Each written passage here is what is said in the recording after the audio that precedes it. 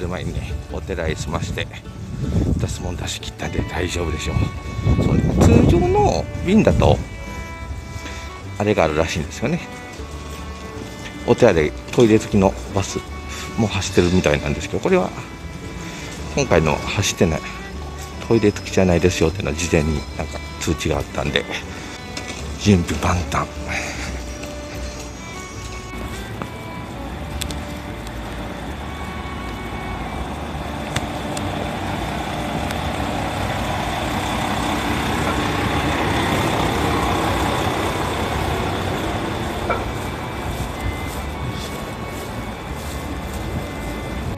はいお願いします7番ではい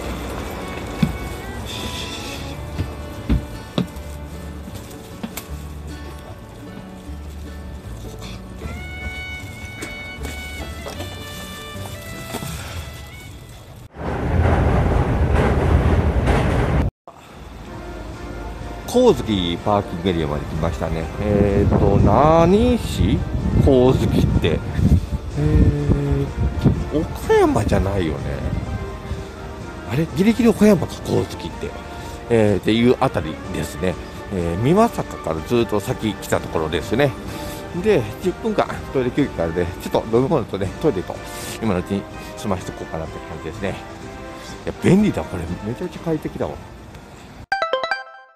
さあ、とりあえず売店でね、えー飲み物というかと、なんか、えー大福、塩大福かな、を取った。地元のやつらしいですね。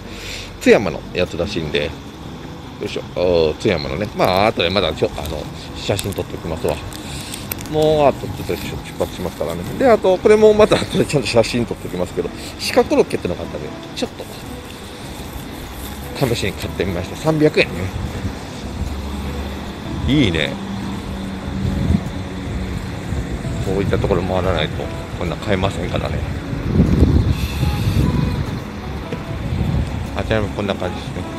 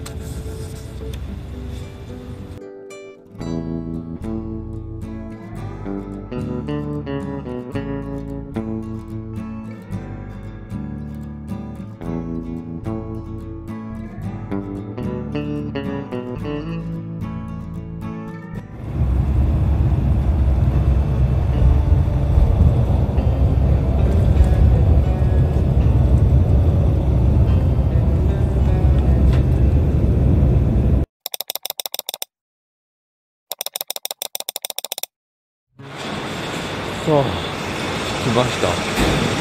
前走っとったのが、前に乗るのが、先に出るんだよかな。で、えっ、と、これが、大キャとか、ナンバーですね。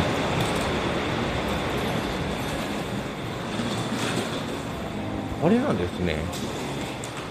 もう、い、阪神高速のインターから、そのまんま、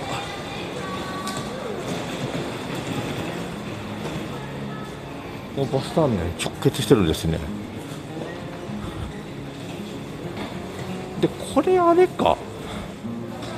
どこなんやろって思ったけどちょっと後で GPS で調べてみるけどあれかなんか高速が高速の出入り口がなんか突っ刺さっとるなって言っとったことがありますよね前に。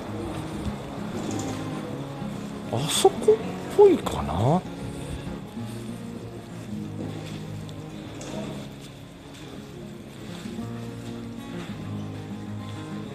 こんな感じでここからはさらにいろんなところに行きたいです近鉄高速バスまさか？近鉄やっと近鉄まで帰ってきた。はあ長かったな。あでこんな感じでですね。近鉄以外にもいろんなところに行ってるみたいですね。え。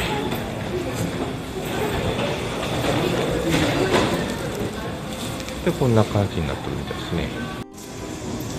でね今地図載せときますけどぶっ刺さっとるわって言っったところの南の反対側ですね。で南の反対側なんでちょうど JR 難波駅の真下ってことなんでどんのぴしゃでやってきましたね JR 難波駅。まあせっかくなんだよね徒歩何十歩単位のところにあるみたいなんで。というか、あの GPS で見たら分かりますよね、JR の駅があって、居場所の青い丸がここになってるってことは、もう本当に、えー、っと、このまま、えー、っと、これ、近鉄新ナンバービルとかになってるで、そっちじゃないな。へえ。JR ですね、市バス乗り場があって、その辺りなんやな。あ確かに難波に高速バスで来ることなかったもんな。だだだ近鉄で乗り換えなしで来れますからね。ああなるほどな。新鮮だし。あとやっぱ便利ですね。うんね、変な損得損得感情じゃないですけど、高速代が9000円に、阪神高速2000円ぐらい、まあ、バスなんでね、高めにはなってますけど、ね、3000円払って9000円の高速乗せてもらって、燃料代まで出してもらっといて思ったら、ええんですかって気分になりますよね。いやいや。しかも通常4800円ぐらいのやつが3500円でしたからね、そう当日でも3500円になるっていうか、あの便がそういうあの要は w i f i も何もついてない。トイレもなくて4列シートのやつでっていう。要はちょっと普段使ってるのと違って臨時で使ってるやつなんでなんかちょっとグレードが落ちるっていうんでそれでまあ臨時のやつやしその分お安く提供させていただきますっていうことらしいですけどああこっちか JR 難波駅これがあれか。マクドのあるところらへんでんのこれで。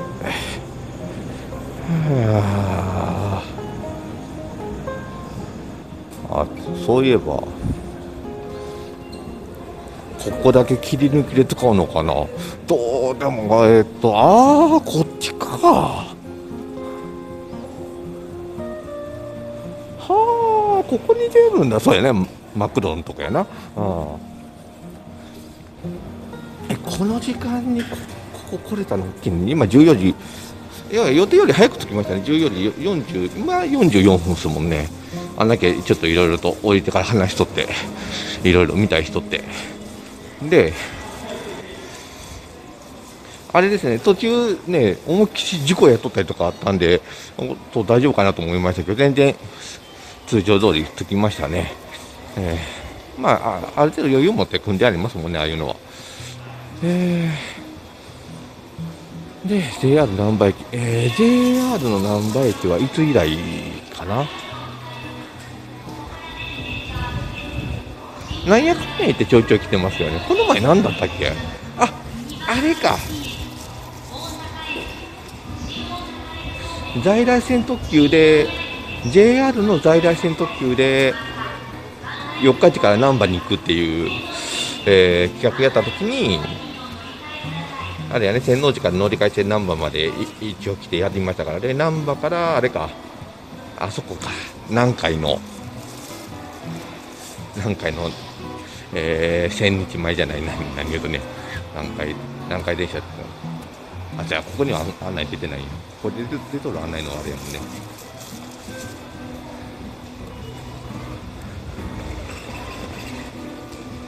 えー、と、どこ、何やったっけ。千日千日前通りずっと行ってこここにあるやつ。えっ、ー、とえっ、ー、と塩見橋塩見橋。やおしまだシナプスを取れてなかった。いやでも大阪ですね。おもろいもんで大阪に来るとやっぱし。